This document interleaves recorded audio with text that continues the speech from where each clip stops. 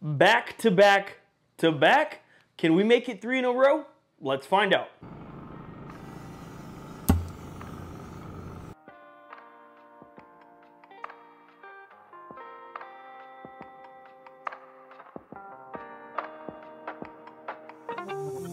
It is 5:20 in the morning on a Saturday. We are in Poteet, Texas. We are competing in another CBA competition. This one's going to be a lot of fun. A lot of good teams at this event. I am parked right next to Bobby Delgado, Cuatro D Drums. I'm parked also next to Rini Gonzalez, Gonzalez Family Barbecue. Kevin Hernandez, My Pips Are Burning. LC Barbecues here. Smoking and Toasting is here. Reggie Q's here. DD Barbecues here. A lot of good teams. So I'm excited about this one. A lot of these guys are in the points chase for the end of the year stuff. And it's exciting being able to compete against them when you know that they're going to be at their absolute best. So I'm very excited about today. We got our point and our flat. Going over top with Southern Belle right now. Don't forget my burnt ends. I try and go a little bit lighter on everything. I don't want to overpower anything. I don't want to get too salty on these. Really focus on getting a nice color and just an overall good cook on the burn ends.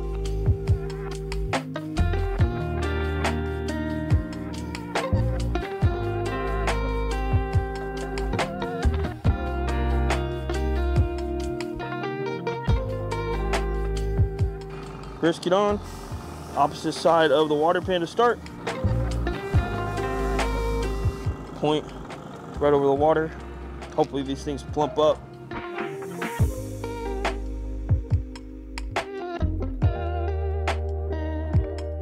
Now it's time for pork. Just put brisket on. It is 6.03. I always like to make sure I get the under underside here too. And I'm just seasoning the top. Not really worried about the bottom. Obviously I'll roll this over, get that money right there, but that's it. Then I'm gonna go over top of my money muscles with Belle. Do the same exact thing with Southern Hospitality.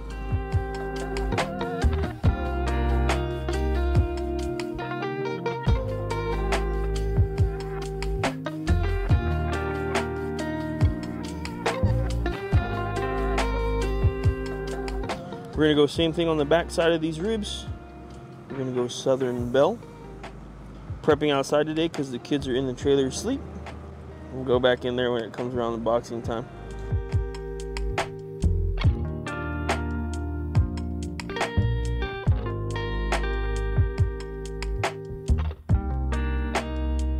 Hit the back with avocado oil. That way we can flip it over and not lose any seasoning at all. Hi.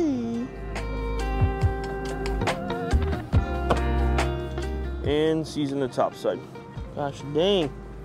Forgot how hard it is to season in the wind sometimes, man. See that just going everywhere?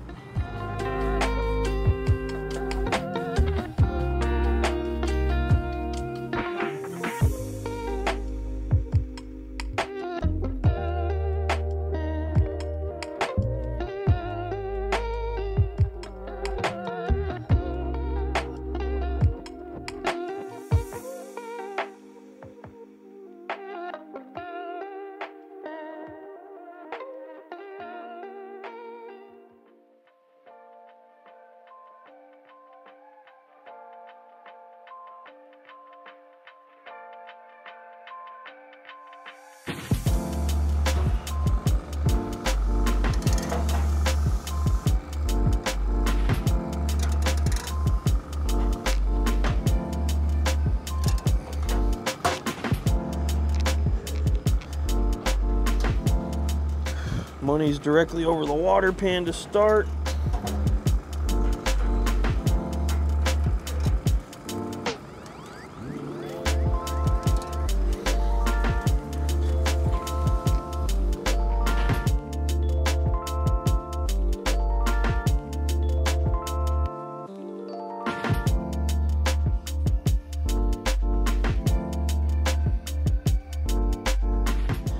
O'clock, and we are injecting our half chickens We also have some chicken wings today that we're just going to play around with. We're not going to force them in the box at all whatsoever, but if they taste good, we're definitely going to throw them in. This is just kind of a last minute thing. I saw some wings. I decided to grab them. Again, uh, no pressure to get them in the box. I've learned my lesson the hard way. I'm not going to force anything in there at all. So we'll see what happens. I'm basically going one tube in the breast, one tube between the leg and the thigh, and then I'm basically here on the, the wing itself. I'm just going a pump or two. Nothing crazy. We're trying to keep everything super simple this weekend. We injected with LC's foul play on these uh, wings and this chicken, and we actually just used water and phosphates. So nothing, again, nothing crazy at all. And the reason we wanted to do that was because uh, we just wanted to try and make this chicken taste as standard chicken as possible and just see where we stand, see where we fall. But uh, yeah, we'll see if that works out or not. Gonna season on top of the breast with that base only. Then we're just gonna get right into pinning our chicken down. One less step that I have to worry about in a little bit. So I get these little card holders. They're actually called card holders. They're from Amazon. And I'll probably do like three-ish. You guys might want to do it a little bit differently, but I've found that three, maybe four max is usually pretty good. There's our two chickens that are pinned.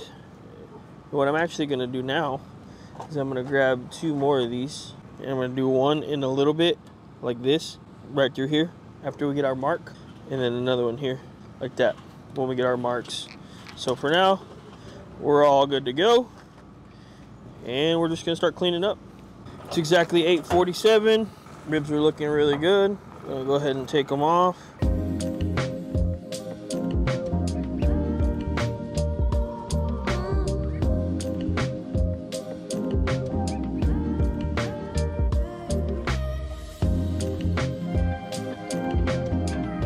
Today we are going to wrap our ribs in a foil pan because I was on the phone with Bill and he showed me this little trick which I don't even know where he learned it but he just basically told me to fold that thing up.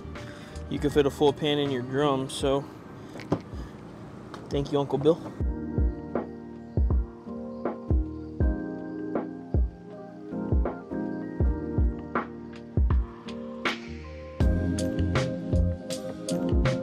And the reason I like this idea is because then I don't have to worry about the amounts of liquids that I'm putting into each wrap of my ribs.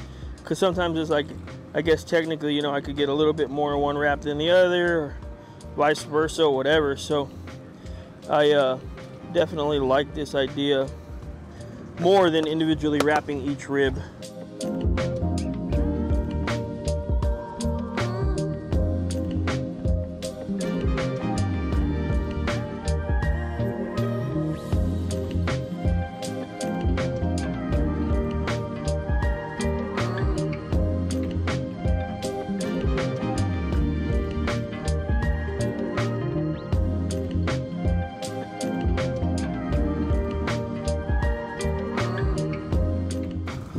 Hopefully you can see that. 8.51 a.m. Money muscles, time to come off. Looking good. I'll have to trim that one a little bit. That's completely fine. Pork's also looking good.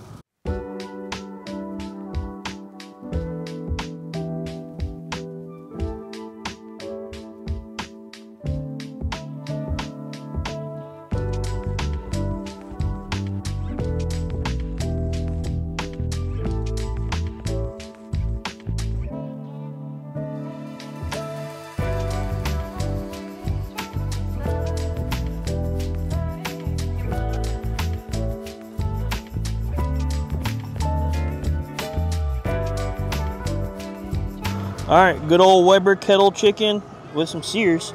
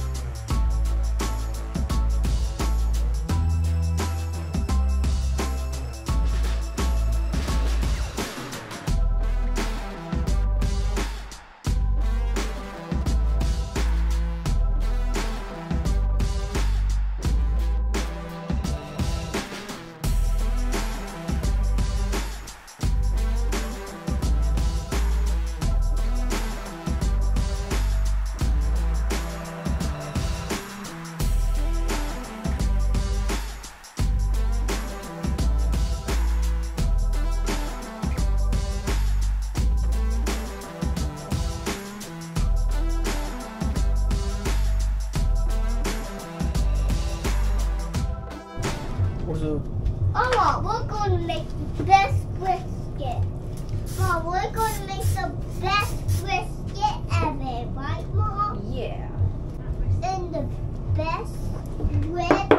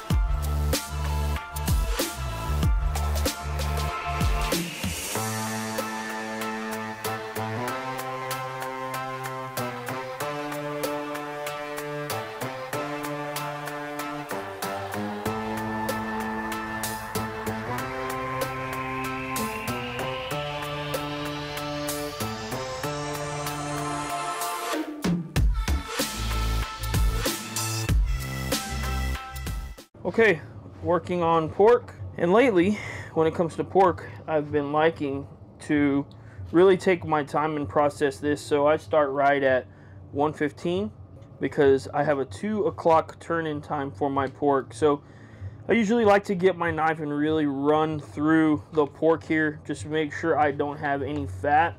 And also, this is like a tube right here. You see the, the bark here. I'll pull this apart and if I notice that it's actually like at the end where the bark is, it's really, really tight and it's tugging, I'll completely cut that bark off. But if it's not and if it's softer, I'm completely fine with leaving it in. I think it adds flavor, but I obviously don't want too much of it and I don't want it to be hard. So although we are trying to please backyard judges, I don't think that that would do too well in a fork and knife competition. So I'm just trying to think about everything that I'm doing here. So like this little piece, I'm gonna pretty much not really worry about that at all. All that fat, I really, really, really want to get off of this pork. And once I do that, I can start taking my time and pulling. So you can see that the pulled is very, very tender here. And again, you know, it pulls apart really good. There's some bark on the backside, but you can see it's not sticking together because of that bark. So I'm completely fine with leaving it there as long as it's soft. So we're just about done. The last part is, although these, so a lot of these actually don't really have the best fat caps when it comes to getting them at your local grocery store, which I got this at Walmart. This is a Prairie Fresh, and it just doesn't really have a, the greatest fat cap, but you will still be able to find some bacon in here. So I'm gonna go ahead and remove all the fat from my bacon now. The bacon is literally just a little piece of meat in there right between two fat caps on the bottom of the pork butt. So like right here I could tell that is hard bark. I don't want that hard bark. But again, I'm trying to be really, really strategic about what I'm doing here. This bacon, as long as it's cooked good, is very, very tender. So what I like to do is I like to try and be strategic with it, right? So I have some nice pieces of bacon here. I obviously don't have enough for the whole box, but what I'll do, and you can see some little fat right there, I want to get that off. Just be careful. Don't pull it too much, but yeah. What I like to do is I like to kind of spread it apart, and I make my little bit of bacon go a long way. So I'll kind of put it everywhere on top. So if a judge is going to get a bite out of this pulled, I want to make sure to the best of my ability that they're tasting bacon. That's my goal. So this is going to be my pile right here. This stuff was a little dry. You can see that this has a lot of moisture on it. I haven't added anything to it yet, so I really like this pile. Again, nice moisture. It does taste good. We already tasted it a little bit ago, so I'm gonna go ahead and get this right in here. This is where we're gonna start tasting everything. So now I'm taking out my money muscles.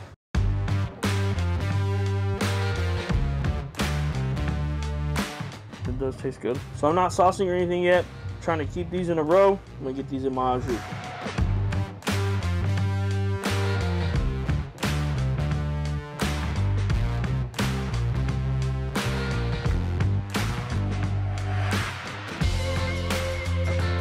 Let's go ahead and go outside.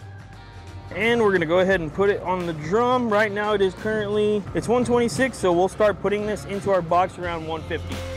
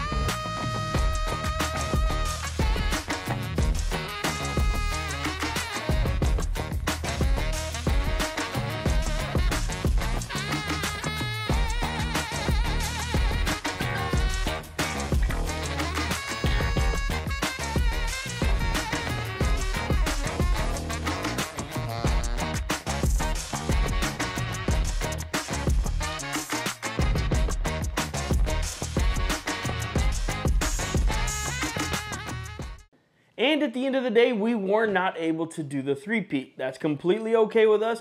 We understand that there's no possible way we're going to win every single barbecue competition.